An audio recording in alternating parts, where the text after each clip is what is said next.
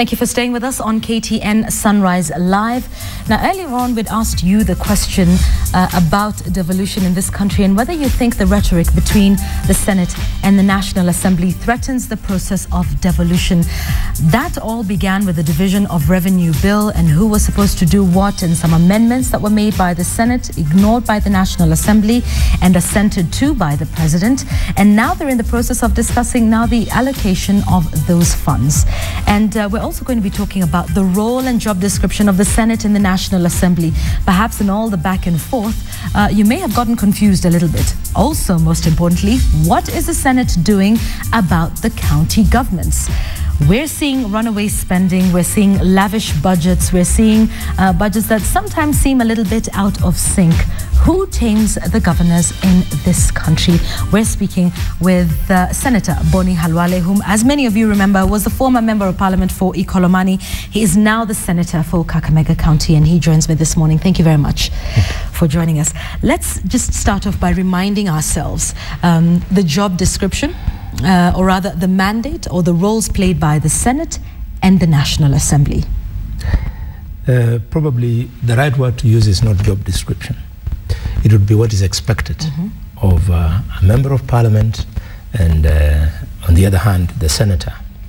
All this has no difficulty. In fact, the uh, hype that has been put on the fight, the presumed fight between senators and MPs, is simply because of two reasons. One, some people don't want to look at the constitution, and two, people are still living in the bad old days of the African big man syndrome. Mm-hmm. Uh, those who care to look at the constitution will realize that when it comes to the legislature, the constitution has created three particular limbs.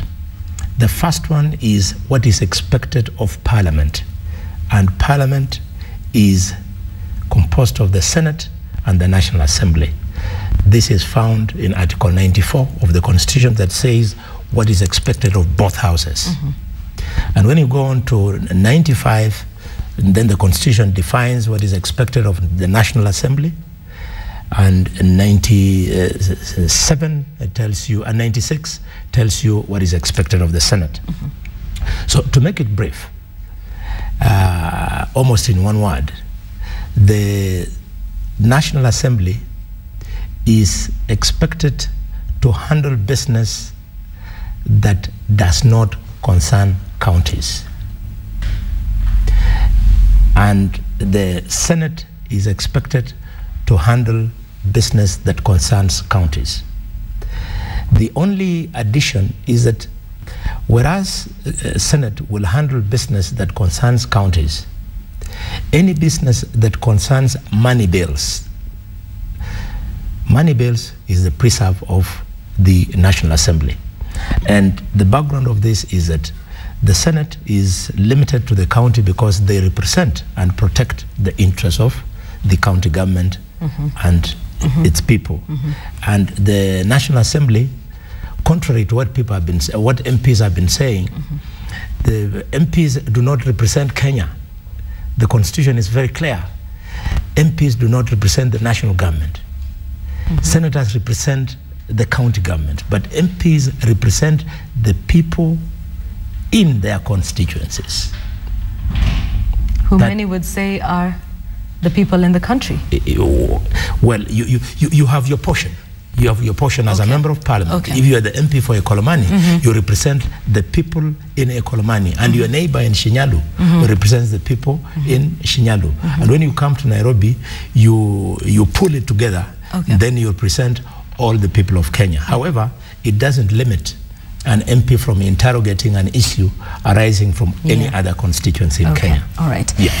So um, let's talk about that row then uh, that started uh, all of this offer. I think that perhaps brought to uh, the minds of Kenyans yes. Uh, that there was something going on, and it's about the division of revenue bill. Yes.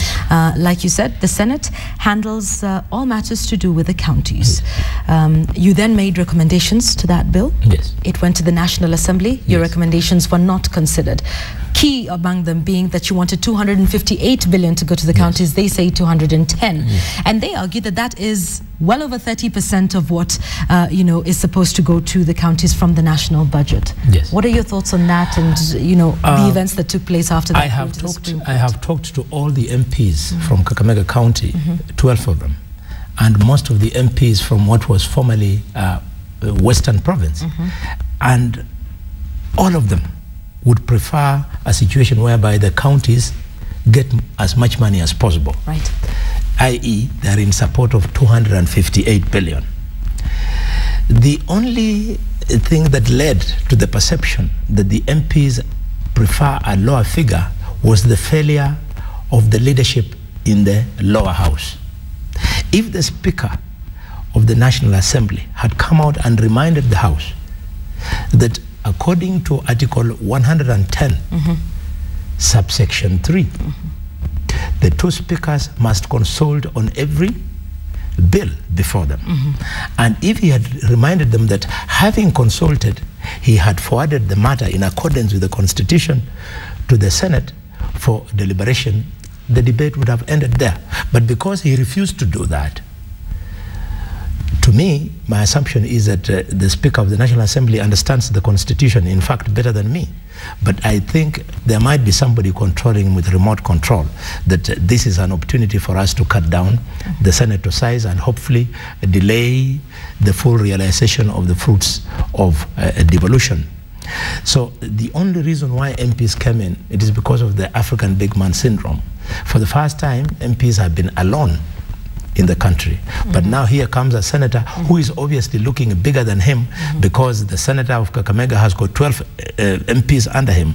So the MP then starts feeling that probably I'm being reduced. Uh, my cloud is now smaller. Let me uh, fight out so that it looks like I'm equal to the senator. I tell you, the consequences of what they are doing will not only be realized in the short term, but even in the long term, because in the just ended uh, election, senators and governors literally held the hands of some of the candidates, whom then they assisted to become MPs. Senator, let's talk about the Constitution for a moment because uh, you've referred to that quite a bit, and it does talk about what is expected of the senators Yes. uh, and of the National Assembly. Now, when it uh, says that uh, the senators are um, going to deal with the allocation uh, of the funds, Yes. and uh, the National Assembly talks about division Yes. of that, Yes. uh, and so when we talk about the division of revenue bill. Um, According to some who interpret the Constitution, it says that the National Assembly is the one that says X amount will be retained by the national government and Y amount will go to the counties. Yes. And it is then up to the Senate to now deal with allocation of those funds. Yes. Uh, would you agree with that? And that if that be the interpretation from the Constitution, um, then that the National Assembly was right in what they did. They handle division of the resources, you handle allocation. In other words, you come and say how much will go to Kakamega Yeah. County, how much Yeah. will go to Busia County, etc. I am going to be very brief on this because we deliberately agreed as senators that because we have approached the Supreme Court, if we go all out of the way discussing this matter, mm-hmm. then Okay. because the matter is very active Right. at the Supreme Court, mm-hmm. you now run the risk of the sub judice. Mm-hmm. However, division of revenue cannot be done piecemeal. Division of revenue must be done wholesome, and wholesome means there is the vertical division of revenue and then the horizontal mm-hmm. division of revenue. Mm-hmm.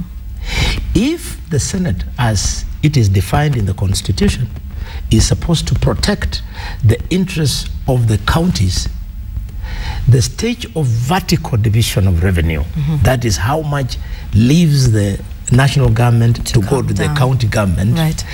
The real time of protecting the county governments at that stage, because if unchecked, then the national government would only be too happy to have as little money as possible going, uh, being divided vertically.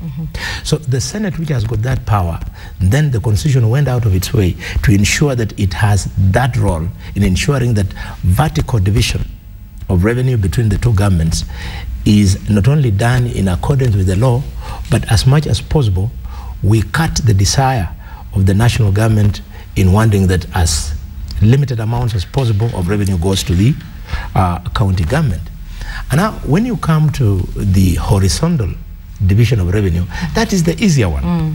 It, it actually, Absolutely, it doesn't yes. call here because right. there is a formula there right. which is worked out by mm -hmm. the mm-hmm. Commission on Revenue mm-hmm. Allocation. Mm -hmm. It doesn't call for yeah. things like that. You, you yes. don't have to fight too much. Right. Where the real fight is, and you have seen it is mm -hmm. so mm-hmm. hot that we have had to go to the Supreme Court. It is at that point. Okay. Yes. Some would say that uh, all of this was done by the 10th Parliament uh, in a bid to clip the wings of the Senate. Um, and many of you who are in the Senate today, including yourself, Senator, were in the 10th Parliament. Did you not see this coming? Or some would say that when Bonny Khalwale was Member of Parliament for Ikolomani, yes. uh, he was trying to curtail the powers of the Senate. And yes. then during the campaign, you decide, okay, I'm going to run for the Senate yes. instead. Uh, did the MPs not see this as a problem coming in during the 10th Parliament, who now sit in the Senate and complain that this is a problem of the 10th Parliament? The people who are making that uh, argument are perfectly correct. I happen to have made up my mind very early in time mm -hmm. to become senator. And if anybody cares to visit uh, the Hansard in the library, mm -hmm. uh, my, my, my contributions are there. When I was fighting now, mm -hmm. the, the committee, the select committee of parliament that went to Naivasha to look at the recommendations of the, uh, the committee of experts, which had created a senate that was superior to the National Assembly in accordance with bicameral uh, practice in the best international practices as obtained in the US, in Canada, mm -hmm. in Austria, and so on. And, uh, and, so on. So when these guys went to Naivasha, they then realized that not all of them were going to run as governors. Mm -hmm.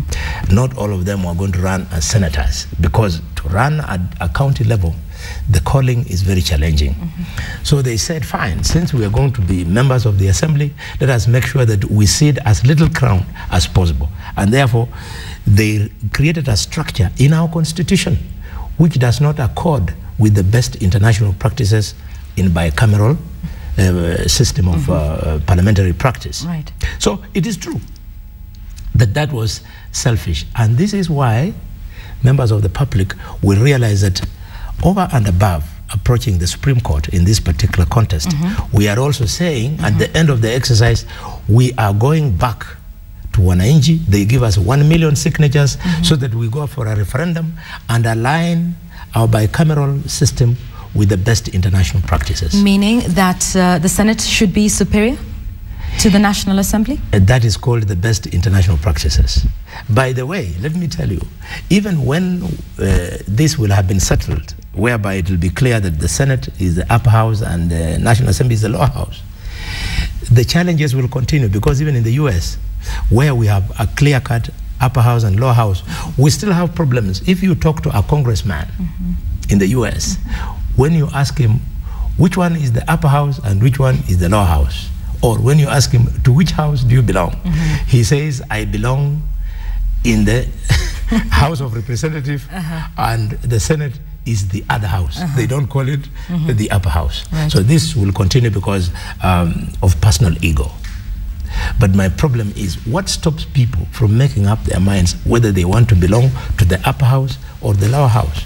If you choose to go to the, lower, to the upper house, the consequences are that you have a harder campaign, a more expensive campaign, and you have to live with the consequences. The risks of losing at the county level are higher because your clan does not have a, a, big say. In some of the constituencies, uh, you, uh, literally it is your clan that determines whether you become an MP.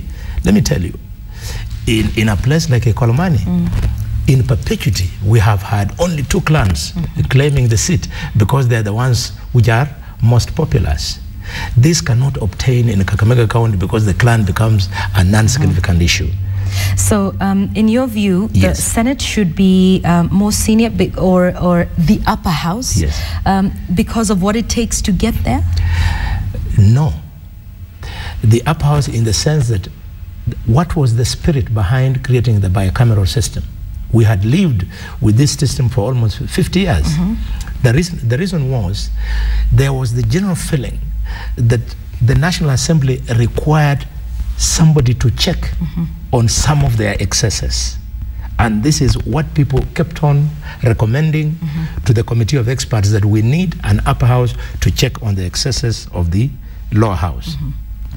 This is now being drowned away uh, through this rhetoric and so on. Mm-hmm. But it must not be lost on us that an all-powerful uh, parliament, a national assembly that is unchecked, has the tendency to visit on the electorate excesses which they don't like, up to and including the famous issue of uh, the pay packages. It is because they're unchecked. If you noticed in the debate, mm-hmm. Senate was very quiet mm-hmm. because we were saying the Constitution created the Salaries and Remuneration Commission, mm-hmm. let it perform its function. And even in that deal that was signed, do Yes. you benefit from that? Yes. That deal that was signed Yes. uh, by the SRC, Yes. allowing for more allowances. Does Yes. that um, apply to senators? Yes. Uh, what So you were the beneficiaries of a process. everybody everybody which you has, were very has quiet. uh, uh, no no not in, in not in that sense in the sense that senators cannot run away uh, from what MPs fought for because the the end result has been that what MPs have gotten senators have also Mm-hmm. gotten Uh, so they should not pretend that they are holy they're holier than thou and so to speak Yeah, Okay, yeah, all right. yeah. So, uh, benefiting from that uh, and that runaway spending, did you agree? Why was the Senate quiet when the members of National Assembly were pushing for better pay packs for themselves? Is it because you did not believe in what they were saying? If that be the case, why then benefit from it? Yes, I am one of the senators who came out and spoke to it. And I said what was taking place in the National Assembly was unhelpful and it was unnecessary. To the extent that having created the Salaries and Remuneration Commission, there is no room where an individual member of parliament, an individual senator, or a group of them, or all of them can attempt to approach the Salaries and Remuneration Commission uh-huh. because the same constitution that created SRC also created the Parliamentary Service Commission. Right. So if an MP, any senator has any complaint, he should channel it through the Parliamentary Service Commission, which under the Constitution mm-hmm. now has the locus standi to, To go, go into to- engagement okay. with the Salaries and Remuneration Commission. Right. That is how I differed with them. Okay, okay. Yeah. So it was in the approach. Yes, the approach was wrong. Okay. Yeah, But, but but the money they were asking for, did you agree with that? the money they were asking for was neither here or there because the final word lay with the Salaries and Remuneration Commission. And if there was any attempt to, to change their decision, it could only, could only be done by the Parliamentary Service Commission. So it wasn't going to help if the senator for Kakamega was going to shout that I want to be paid two, two million shillings a, a, a month. It, it counted for nothing because nobody would listen. And for information, I'm convinced the Salaries and Remuneration Commission did not reach its decision based on what the MPs were saying. They did so because they engaged with the Parliamentary Service Commission. Of course, you must also take something away from Salaries and Remuneration Commission. It is- gave, uh, they, they, they, when they approached the matter, it looked like their brief was that they were meant to go and slash the salaries of members of parliament. They should have started by understanding the roles of members of parliament and the roles of senators vis-a-vis what they are expected to be paid, and then decide whether to slash or keep it there or increase. But I think they did that. That was why they even uh, talked about, you know, the number of sittings that members of parliament would have. So, do you not think that they did uh, due diligence Th- th- while they they, did were? not. Yeah. They did not, or if they did, they ignored what they were told. I happen to be aware that uh, Speaker Marende made a very detailed presentation to the Salaries and Remuneration Commission. That they went against what Speaker Marende said, it meant that either they did not listen to him or it was the famous culture of impunity that is very popular in Kenya. To this extent. Right. Allow me to say, though, that the brief perhaps to slash the members of parliament salaries could have come from the Kenyan public, that this is what the Kenyan public wanted? Yes, the Kenyan mm-hmm. public is just one of the stakeholders, as e as are members of parliament and as is the Parliamentary Service Commission. Let me tell you, uh, for example, when they said that they limit the sittings of committees mm-hmm. to four sittings in a week, mm-hmm. that would completely have made it impossible for committees to discharge their mandate. I have been a chair of a very busy committee called Public Accounts for five years. Mm-hmm. And because of the volume of work, the number of audit reports that you're supposed to look at. If you were to sit only four times, you would never audit government. The government would have gone uh, away very happy that there is no public accounts committee to check me because they do not have time. So I'm glad that that decision was rescinded uh, because those are the nitty gritties of uh, operationalization that Salaries and Remuneration Commission appeared not to be quite alive to. Okay. Yeah. Uh, let's just as we round up that issue of the Yes, salaries, yes. uh, as you say, you disagreed with the approach Yes. that the members of parliament used. Was there any attempt to call your brothers and sisters from the National Assembly and say, okay, uh, we agree with you, the number of sittings should not be uh, curtailed to three or four in a week and that yes we do agree we need more money but this is not the way to go about it seeing as it's parliament it's you know one body separated into two houses was there any attempt by any member of senate to approach the members of national assembly and say you're not going about this the right way trying to remove commissioners from the Yes, src yes, yes. Isn't the right way yes It was very unfortunate attempting to remove members of the commission, mm-hmm. attempting to remove VAT and stuff mm-hmm. like that, attempting mm. to slash the salary of the president. President, uh-huh. That was not helpful in any way. But the failure is not mm-hmm. because of one senator or some senators. It is because the only person who can call the two houses are the speakers of the two houses. They should have consulted and called for an informal sitting. We call it in parliamentary palace uh, uh, Kamkunji. Yes. And then call uh, a joint Kamkunji and we could have discussed this thing. Uh, so that I don't offend uh, members of the National Assembly who I respect very much. Uh, a very large percentage of the current members of parliament are freshers. And therefore, the depth and breadth of these things can easily escape them, especially in the first months in the National Assembly. Mm-hmm. They needed to have listened to us. Okay But unfortunately, you can't do that because you're not the speaker. And if you attempt, they'll tell you, you are just elected like myself. Right. What the hell do you think? you All right, let's talk about indeed, and you've mentioned how the, Yeah. the two, uh, the speakers of the two houses can come together Yeah, yes. uh, and you know and talk about that. And of course, now uh, the focus is on how the two houses handle bills. It is the focus of an article in today's Daily Nation. It is on page six. I'm sure we'll get a shot of that, and it's a bickering over. Who handles which bill, when, and at what point? And I think drawing from what happened with the Division of Revenue Yes. bill. Let's talk about that because uh, what are the rules on that? When you are discussing a bill, you're supposed to um, consult the National Assembly and vice versa? The mother of all the laws in this country that are on the statute books is the Constitution. And the Constitution is not ambiguous at all. In subsection 3 of Article 110, and wananchi these days have laptops, they, are already, they have already gone to it. Yes.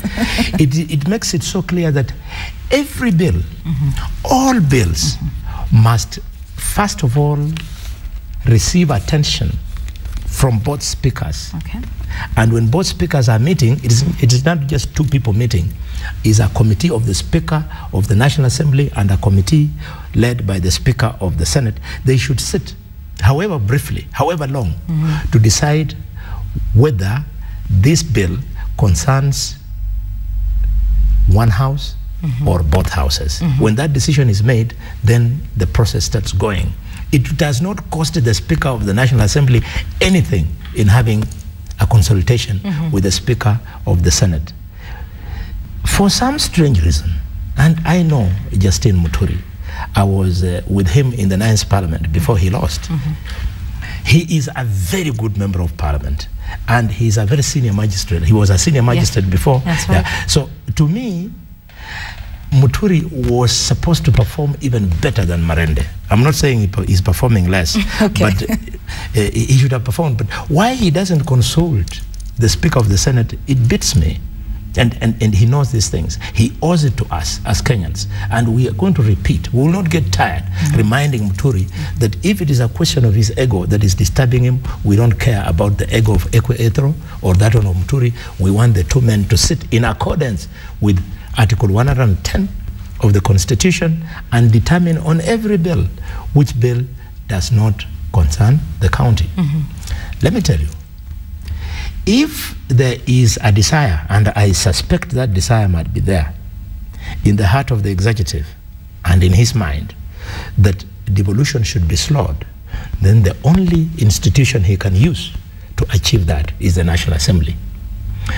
The late President Kenyatta used the National Assembly to kill mm-hmm. the Senate. Do you think that's what's happening now? The signs are there for Kenyans to see, and I'm afraid we must say uh, the signs don't look good. But fortunately, this time, the Constitution has ensured that the National Assembly does not have enough strength to kill the Senate. For that to happen, mm -hmm. you have to go back to the people mm -hmm. through a referendum. Mm -hmm. And I can assure you, in a referendum, that people are choosing between having the Senate or not having it, killing devolution or letting live, even in Kiambu, where the president comes from, even in Gatundu, where he was born, mm -hmm. we will get an overwhelming yes for the continuance of or the continuation of devolution. Okay. Yeah. What do you intend to do? Uh, should this um, you know, situation persist, uh, where we don't have consultation between uh, the two houses over bills uh, that are before them. What is the intent of the Senate? Oh, it's very easy, and uh, the, the easier one is politic. You know, right now we are, we are being legalistic mm -hmm. because mm -hmm. we want to be seen as a house that respects the rule of law.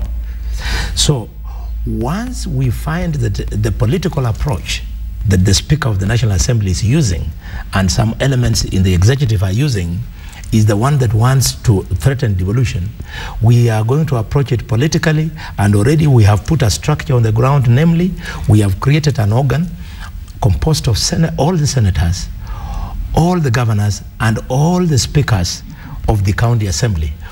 We shall uh, ignite that particular organ, and when we hit the ground running, the executive will have no chance. The National Assembly will have no chance. We are going to overrun them, and the wananchi will give us one million signatures, and we'll, uh, we'll seal those little loopholes that are the ones that they want to capitalize on to threaten devolution. So the answer is we will go political. Right now, we are being gentlemen and ladies in ensuring that we are seen to be an organ in the constitution that respects the rule of law, and this is why we have gone to the Supreme Court. Mm -hmm. If we find that it has not been sufficiently addressed, we go back to an NG. And if they decide they don't want devolution, we are not going to, to commit suicide. We are senior politicians.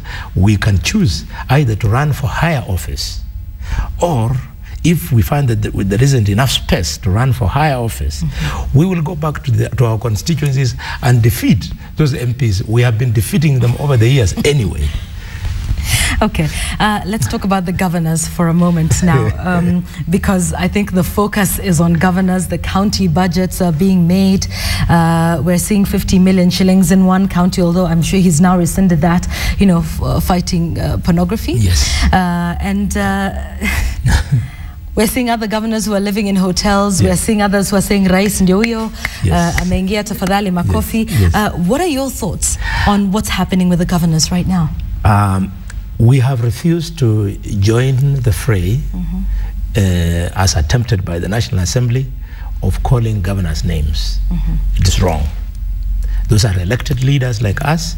We should not call them names. However, we have chosen to take advantage of the provisions of the Constitution, which allow that Parliament shall enact legislation mm -hmm. to address anything that concerns Kenyans, anything that concerns counties. Mm -hmm. To this end, I have moved and created the first bill. Mm -hmm. Three more are, are, are, are, in the offing, mm -hmm. but let me talk about the first one. Mm-hmm. The first one is to address the ego of governors. In this sense, I have a bill which has been published this week. It will come for the first reading. Mm -hmm. It is called the National Flags, Emblems, and Titles Bill. What this bill attempts to do is to create order so that since governors are starting to call themselves His and Her Excellency, mm -hmm. we have chosen in this bill to give titles to all state officers, starting with the president, the president and his deputy, will be the only ones, if this bill becomes law, who will be entitled to be called, being called His or Her Excellency. Mm -hmm. Governors will be only be called Mr. Governor.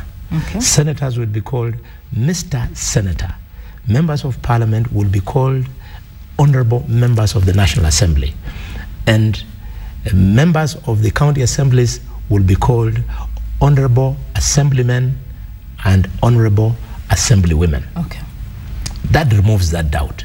So that again, never again should you hear on podium people calling governors His Excellency or Her Excellency. Mm-hmm. On the issue of the flag, it is important that the governor is given respect. He's the CEO of his county, and therefore he should stand out, okay. even in the presence of the senator. So we are allowing him mm-hmm. to fly a flag. But the flag he flies mm-hmm. is conditional, mm-hmm. in the sense that initially I had wondered that they fly only county flags, mm-hmm. but I saw a threat in it. Right. That if you allow him to, to fly a county flag, yes.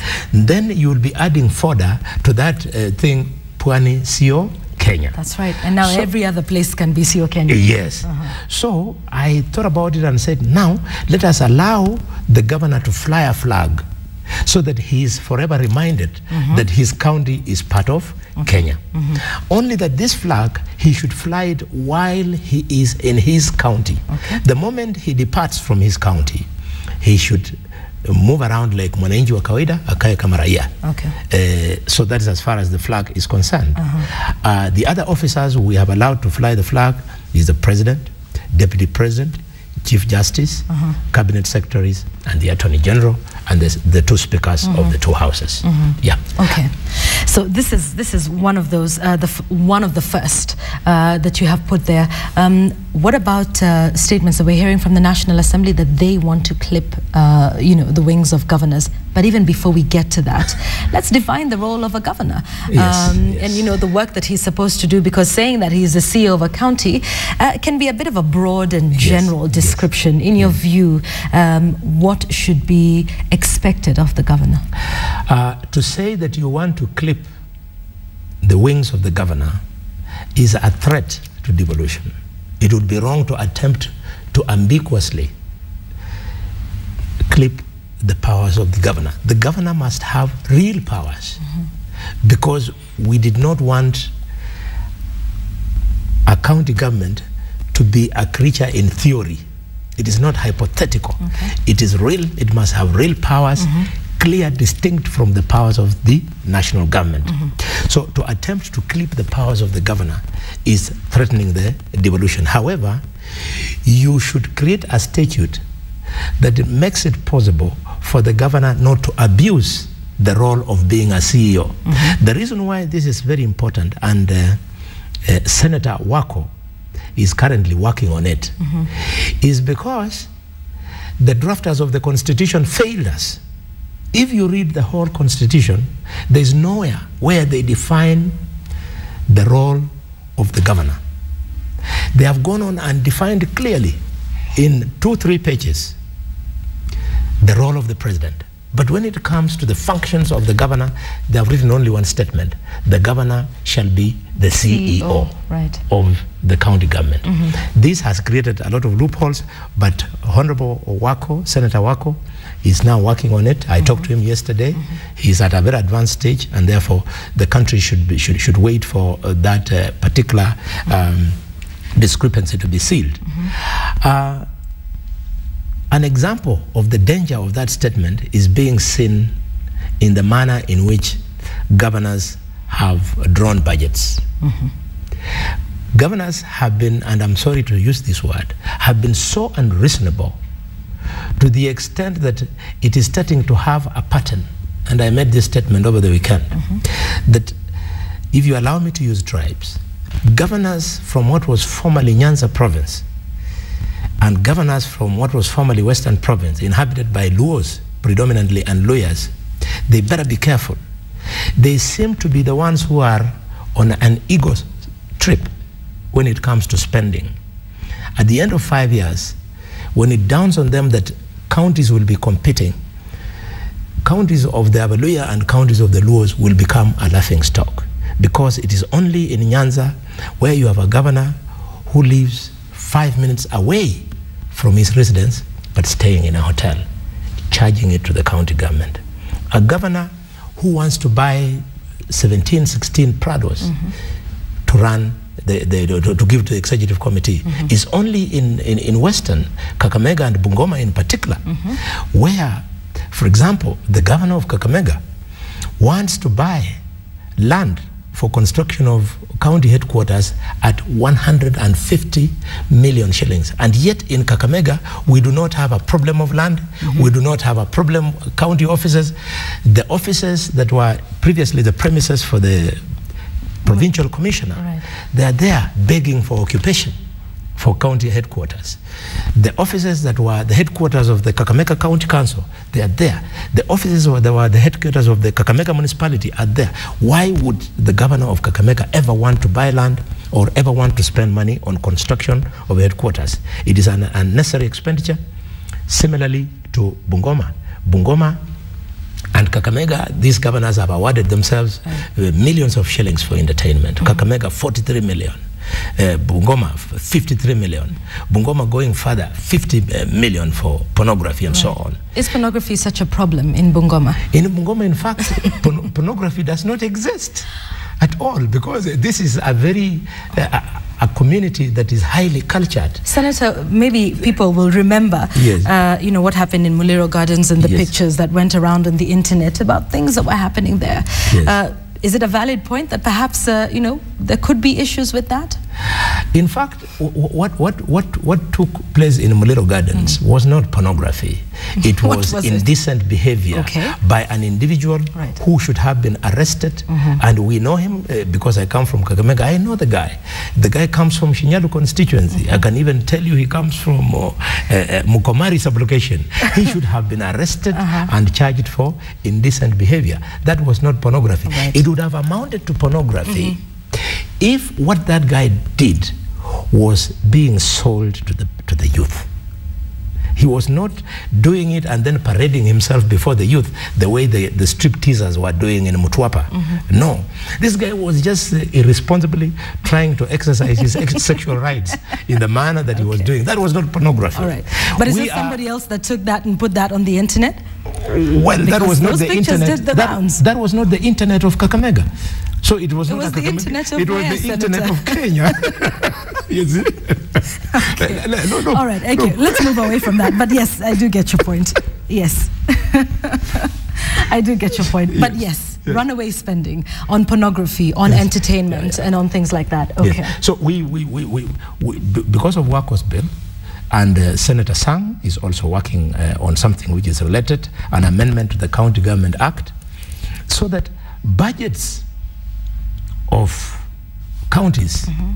before the, after they get assent from the county assemblies mm -hmm. they will come to the senate for concurrence and therefore and in an area where uh, an overbearing governor has overrun his county assembly mm -hmm, mm -hmm. when this particular budget comes to the senate for concurrence then the necessary amendments will be made and this will not uh, in any way hurt the public kenyans will remember that the controller of budget has been attempting to give the impression that she's going to bring a controller of budget bill mm -hmm. that will address this. It can't. The controller of budget, uh, through her, le her le legislation, mm -hmm. cannot attempt to control the county government because the constitution speaks to this. It says the county government and the national governments are two independent mm -hmm. governments. They mm-hmm. can only interrelate. Mm -hmm. So if the control of budget attempted, she's a member of the, the national government, right. if she attempted to control the governor, the governor need not uh, respect what she has said because she will be going contrary to okay. the constitution. All right. Yeah, okay. Yeah. That, that, yeah. So the answer is in what we are doing at the Senate. Okay. Yeah, Let's also talk about the audit process. And we had the Auditor General with yes. us here last week. Yes. And we're talking about the fact that at the end of the financial year, yes. they will expect reports uh, from the county governments as to how they have spent uh, the money over the last uh, 12 months. Yes. What role will you play um, in that one? Should those reports come to the Senate? Will they? Let's understand that process exactly. because the counties are under the Senate. Exactly. Uh, let me let me let me start by uh, advising the controller of budget, uh, my sister Agnes, to go listen to what Ouko is saying. Ouko is the one who is right, because the Constitution is the one that mandates Ouko to audit all public funds. And because the, the funds at the county government are public funds, when the controller, uh, I mean the auditor general, Ouko, audits them, he's operating in line with the constitution. So what Ouko is doing is the right thing. However,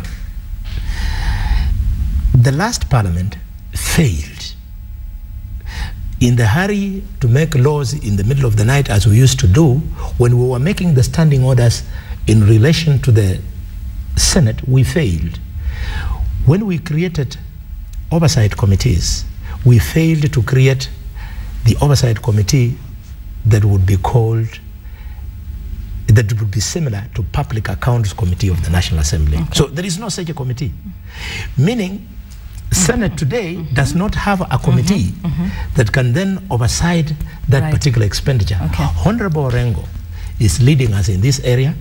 He's, uh, he's leading a committee that is making sure that we overhaul the standing orders of the Senate so as to address such matters and many others mm -hmm. that were left begging because in the last parliament there was no Senate and these things were being done by a National Assembly that was conservative. Mm -hmm. It didn't want to give as much power to the Senate as it should have. Do you think the Office of the Auditor General has the teeth to bite and say because they do make recommendations in their annual report yes. and say that this county has misused funds in this exactly. and this way, exactly. and this is what we recommend.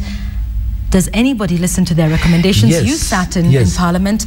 Were any of the recommendations made by the Auditor General's uh, office taken into account and push for prosecution, perhaps, of individuals who've mismanaged funds?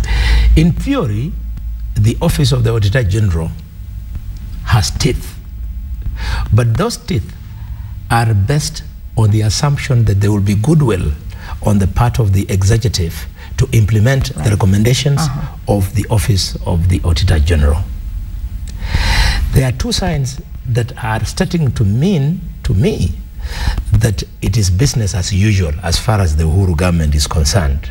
Because while in the last 10 years, the Kibaki government was not paying attention to the recommendations of the auditors through the Public Accounts Committee, the Uhuru government has sent the first warning shot that they are going to do business in the same manner. How?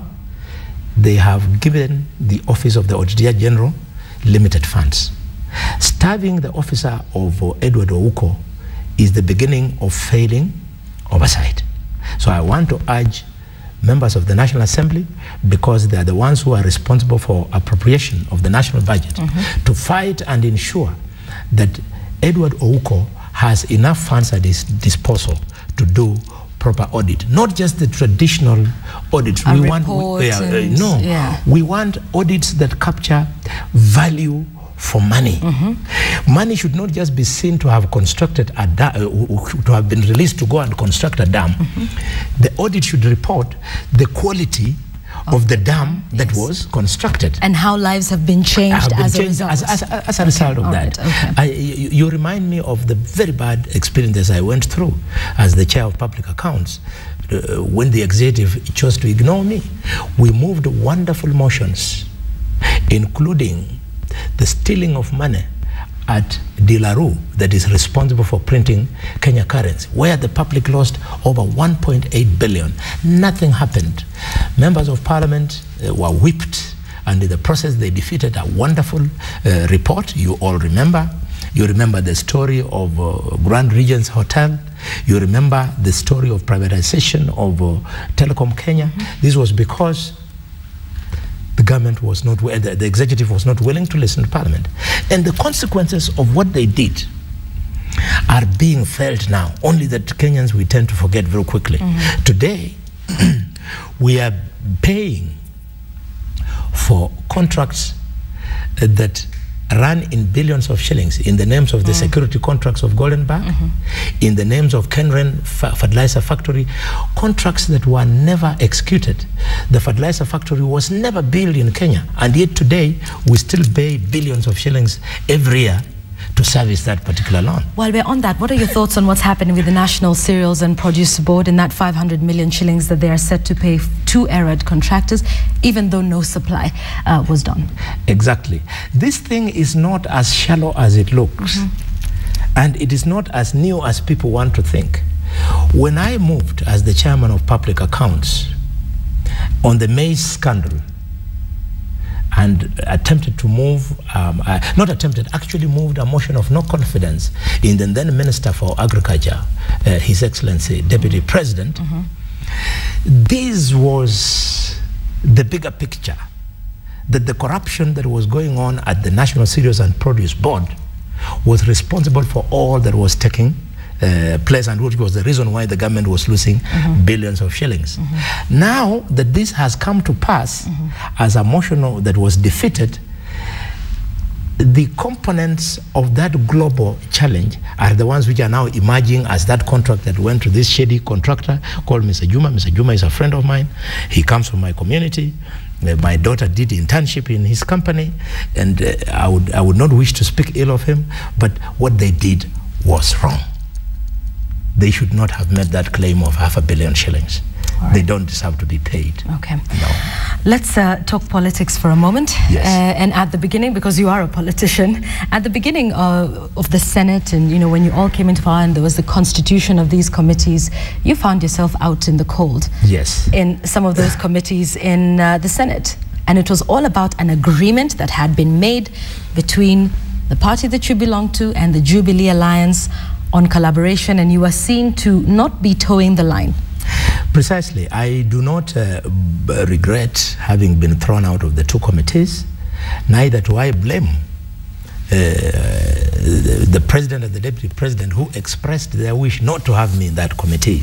Of course, the leader of the majority who implemented that wish uh, did not have the clout to make that kind of decision, and therefore that is why I let the buck to stop at the door of uh, the president and his deputy. I don't blame them because they know me. Uh, we are age mates and we have worked together and they know I have a history of standing up against corruption. And if I had become the chairman of the finance committee, mm -hmm. I would be the same uh, rabble rustler that I was in public accounts and probably I would have caused them a lot of discomfort. For example, the chairman of finance is supposed to defend the government uh, in any, in quotes, wrongdoing on the floor of the Senate. I would not defend the government. So they did well not to have me. I was, I was going to instead use that position uh -huh. to expose uh, uh, wrongdoing. But more importantly, is uh, what was the politics and what was the implication. The implication was somebody was thinking that I become the chair of that committee and I be controlled. At my age, my experience, and education in life, you cannot control my thinking. That is the worst dehumanization you can do to a human being, worse off to a leader. If I am not independent minded, I have no business attempting to represent my county, attempting to represent my people. I should instead fold up and go back to theater. I start operating people with their hernias and prostates and stuff. Uh, you are supposed to oversight the government Oversighting the government does not mean you make them your enemies. It does not mean you hate them. You tell them this is permissible, this is not permissible, and as a representative of the people, under the constitution, I don't agree with you, you should stop it, because if you don't do it, Wanjiku on the streets does not have the tools to oversight the government. In fact, mm -hmm. under Article 1 of the Constitution, Wanjiku exercises her sovereign power through the elected member. So if she has elected you and you don't oversight, it means you are being paid for the wrong reason. You are stealing from Wanjiku. You are driving your car not on petrol, but on the blood of Wanjiku. All right. Yeah. Let's talk about politics for a moment. What did party leader Musalia Mudavadi have to say about you getting thrown out of the finance committee? Because we understand it was an agreement between UDF and the Jubilee Alliance. Musalia Mudavadi has a signed agreement between himself and Jubilee. I did not subscribe to that uh, particular agreement. I refused to attend the meeting. I gave him my opinion that please uh, don't sign this thing for the simple reason that the, the leaders of Jubilee had a history of having failed to respect any agreement between themselves and the UDF. You'll remember uh, Mudavadi was the Jubilee presidential candidate, but they reneged on this. So I told him, it is too soon for us to, for, to, to, to forget. Don't go that route. And he went on and signed. And I think at the back of the Wamalwa's mind mm-hmm. and at the back of Mudavadi's mind, mm-hmm. they were thinking that they would partake of the positions uh, of appointment. And I'm glad that time has uh, proved me right. None of them has been appointed. Not even their associates have been appointed. The two ladies who were appointed from uh, Luyaland have nothing, nothing to do with Mudavadi and uh, Wamalwa. I don't even think they had ever met in their lives before they got those particular uh, appointments. So it was a waste of time. There's nothing to show for the so-called working relationship between Jubilee and UDF. If I was the party leader of UDF, I would take advantage and bolt out. Because right now, there is an opportunity begging for Mudavadi to do opposition politics, but he's wasting time thinking that he's doing government politics when he's not in government.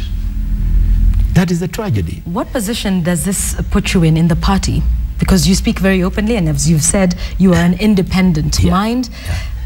What position does this put you in in UDF when you make statements such as this against your party leader? It is not against the party leader it is against the position of the party because when the party leader floated that idea, the majority of leadership in UDF agreed with him. So it becomes the position of UDF. But because with the benefit of hindsight, they now realize that there's nothing that they are getting out of this, I believe they should swallow their pride and accept that there is nothing to take home from this agreement. Where does it leave, uh, leave me? Now, I cannot be intimidated by a political uh, party leader to the extent that when I stood up against President Kibaki uh, in throwing out Kimunya, mm -hmm. Kibaki never de-whipped me.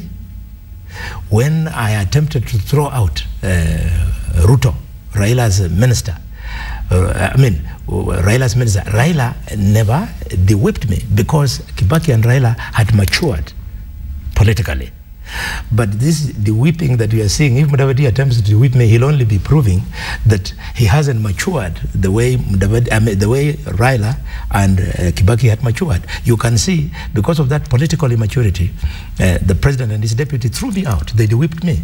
I'm hoping that sooner or later they realize the wisdom that they also, at some stage, they need somebody they need a group of senators, a group of MPs who can expose the rot of corruption that is usually perpetuated not by the president, not by the deputy president, by senior officers in their government. So when an MP, when a senator is doing that for them, he's doing their work. He's helping their government to succeed. So to that extent, the President Kibaki had matured. To that extent, Raila Odinga had matured. I remember uh, at the height of the Ruto motion of censure, mm -hmm. I met uh, Raila and he paid for my lunch. And he said, You young man, you're causing us a big headache. He did not deny me lunch because. okay. Yes. You have been known for your fiery statements. I think everybody remembers Kimunya must go. Indeed. Here's another statement that you made, and we've gotten this question on Twitter saying, What did you mean when you said that women's reps and women senators' jobs is to carry handbags in and out of Bunge? What did I mean? Remind me? What is it? what is that? Women's reps and women's senators, their jobs is to carry handbags in and out of Bunge. Women reps mm -hmm. and women senators. Mm -hmm. Uh, I don't know how somebody is attributing that kind of statement to me.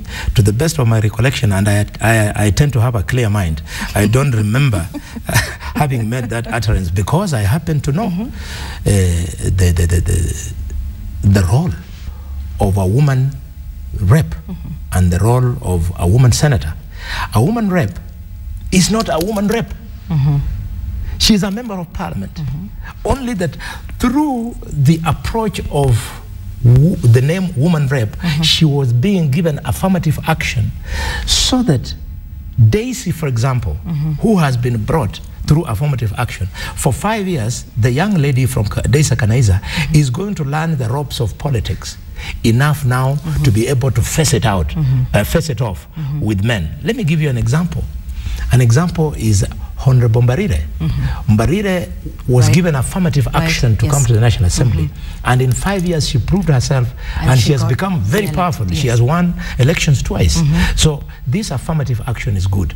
The advice I want to give women reps mm-hmm. is that they should not be possessed by the fact that they're women reps Mm-hmm. They should take that five years as a learning process mm-hmm. so that they are not like uh, Honorable Amina Abdalla, who has been nominated in perpetuity. She should have given that to somebody else so that herself, having learned the ropes, she go for competition. She goes for competition. So they should not sit pretty uh, in the comfort zone. They should, in fact, hate the fact that they are women reps, saying that why should I be here on affirmative action? Let me the next time win an election. Okay. Election is about competition, and this is why in the Constitution, and ladies, you'll bear this with me, you'll bear me out. In the Constitution, affirmative action has been put there for only five years, uh, for only 20 years. Already five years is gone. Right. So they are remaining with only three rounds. Three times. So yes. if people want to live in the comfort zone that one day I'll go to parliament, one day I'll go to National Assembly, Senate mm -hmm. through affirmative action. You can only do it for the next 15 years. Mm -hmm. Otherwise, it, you better prepare yourself for a real fight. Even in the US mm -hmm. and UK, there is no such affirmative action. And those are the so-called mature democracies. Yeah. Okay, all right. Uh, let's stay. Go back to the issue of uh, your party leader. He recently said uh, at a function in Western that you know 2013 was just round one. He was just getting his his feet wet, and that he plans to run again in 2017. As you are now, would you support his bid for the presidency in 2017? Let me tell you, politics is not static; it's dynamic. As uh, Winston Churchill said, one week in politics is a very long time. Between mm. now and 2017, mm. so much water will have passed under the bridge mm. that I cannot appear before the public this morning and tell them that I'll be offering myself -hmm. as a supporter of Honorable Mudavadi. No. The configuration that we shall use to approach the next election might not necessarily be UDF. It might not be, in fact, it might not necessarily be UDF, Jubilee, CORD, and what have you. Things will change. Mm -hmm. And yes. at that time, we will decide who to support. Who knows? It may Maybe not be people, UDF. It might not be UDF. who knows? It might be Musalia Mudavadi, presidential candidate that mm. will be supporting. Mm. It might be a candidate from another community. Mm -hmm. It might be a group of other op uh, politicians expecting that I offer myself as a presidential candidate. If that comes to pass, you can't take it away from them. So politics change, you right. know. Okay. It is so it's to, too early for him to make that early. statement? It is up to Mudavadi and myself to do our politics so well that we become attractive to Kenyans, not to Luhyas. uh, getting votes of Luhyas is not a problem to me. A problem is can you appeal to Kenyans? Because the president we want, Kenya is not dying to have a Luhya president. Mm. Kenya is dying to have a president who will advance the, uh, the, the frontier of democracy and good governance. Right. Yes. Our final question to you this morning, Senator. 100 days is being marked today of the Uhuru administration. What are your thoughts on what they've been able to achieve or not? If I was uh, any of those two gentlemen, because they are very prayerful people, they like praying, I would go and ask for prayers.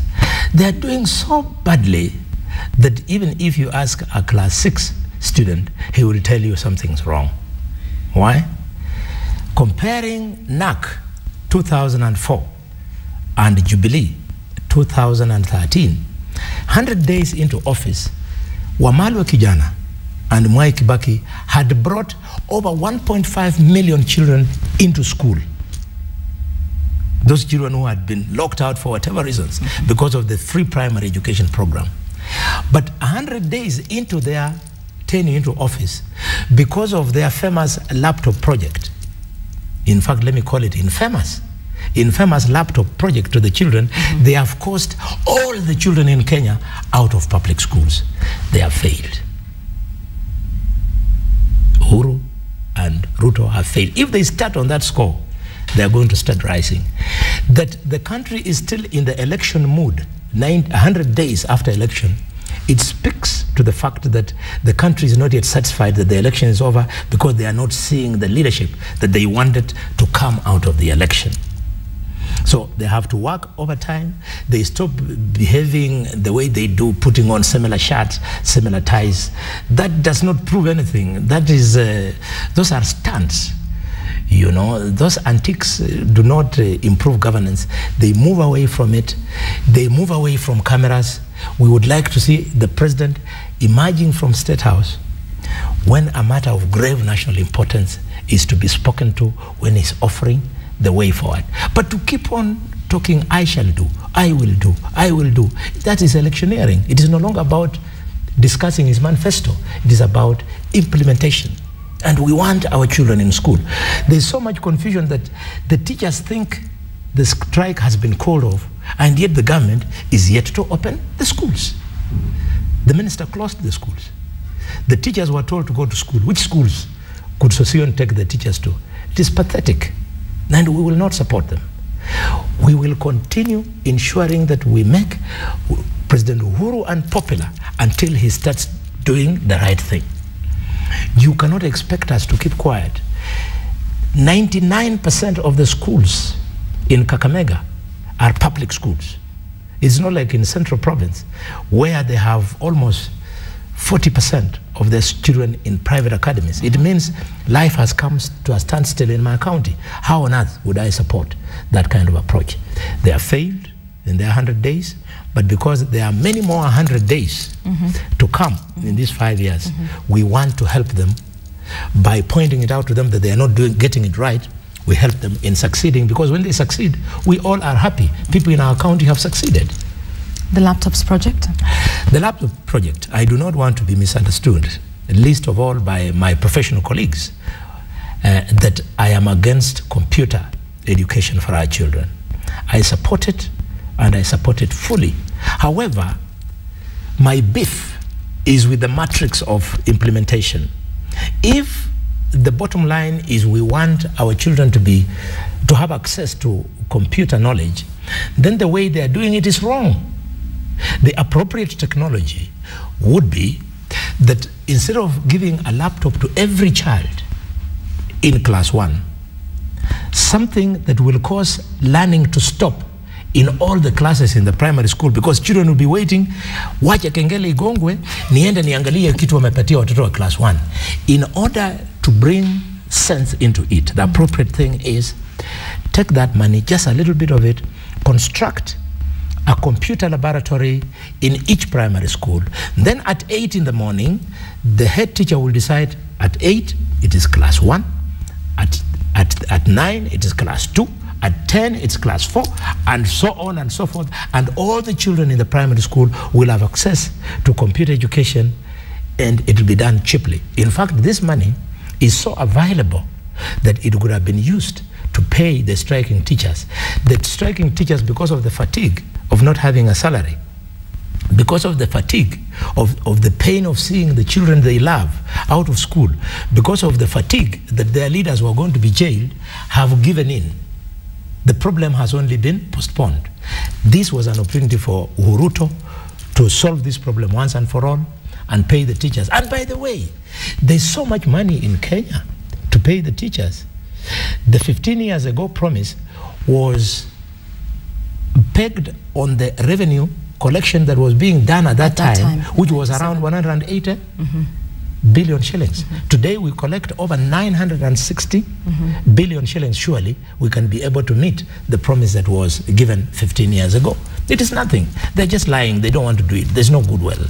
All right. Yeah. We leave it at that. We thank you so much Welcome. for your time uh, this morning. It's always a pleasure talking to you and finding out what plans that you have indeed for the county governments as well and the plans within the Senate. We wish you all the best with those bills. Thank you very much. Been speaking to Senator Bonny Halwa.